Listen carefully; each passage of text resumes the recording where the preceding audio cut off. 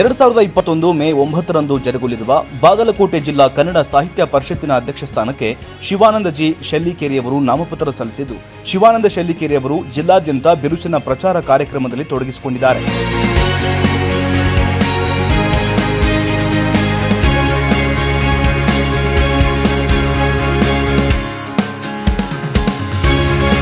ಅಂತೆಯೇ ಶಿವಾನಂದ ಶೆಲ್ಲಿಕೇರಿಯವರು ಬಾಗಲಕೋಟೆ ಜಿಲ್ಲೆಯ ಬಾದಾಮಿಯಲ್ಲಿ ತಮ್ಮ ತಂಡದೊಂದಿಗೆ ಪ್ರಚಾರ ನಡೆಸಿದ್ದು, ಮತ ನೀಡುವಂತೆ ಕನ್ನಡ ಸಾಹಿತ್ಯ ಪರಿಷತ್ತಿನ ಸದಸ್ಯರಲ್ಲಿ ಮನವಿ ಮಾಡಿಕೊಂಡಿದ್ದಾರೆ.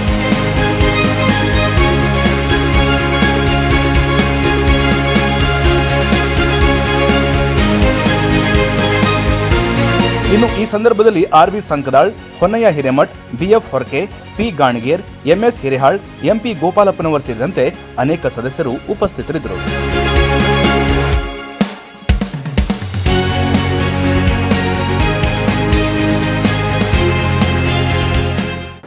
ನಾನು ಬಾಗಲಕೋಟೆ ಜಿಲ್ಲಾ ಅಧ್ಯಕ್ಷನಾಗಿ ಆಯ್ಕೆಯಾದರೆ ಜಿಲ್ಲೆಯೊಳಗ ಕನ್ನಡ ಸಾಹಿತ್ಯದ ನಿರಂತರತೆಯನ್ನು ಕಾಪಾಡೋ ಜೊತೆಗೆ ಹಲವಾರು ಅಲಕ್ಷಿತ ಸಾಹಿತಿಗಳು, ಕಲಾವಿದರನ್ನು ಮುಂದೆ ತರುವಂಥ ಕೆಲಸ ಮಾಡ್ತೀನಿ.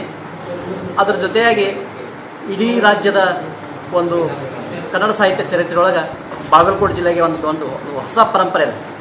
ಆ ಪರಂಪರೆಯನ್ನು ಮುಂದಿನ ದಿನದೊಳಗೆ ನಾನು ಒಂದು ವಿಶೇಷವಾದಂಥ ಕಾರ್ಯಕ್ರಮ ಮಾಡೋ ಮೂಲಕ ಇಡೀ ರಾಜ್ಯದೊಳಗಿನ ಬಾಗಲಕೋಟೆ ಜಿಲ್ಲಾ ಘಟಕ ಉತ್ತಮವಾದ ಕೆಲಸ ಮಾಡಲಿಕ್ಕೆ ನಾನು ಸಾರ್ಥಕವಾದ ಕೆಲಸ ಮಾಡಲಿಕ್ಕೆ ಇಚ್ಛಪಡ್ತೀನಿ.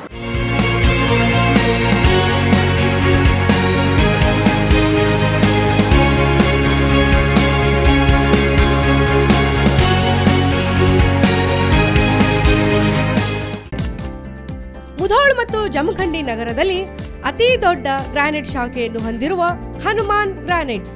ತಮ್ಮ ಕನಸನ್ನು ನನಸು ಮಾಡಲು.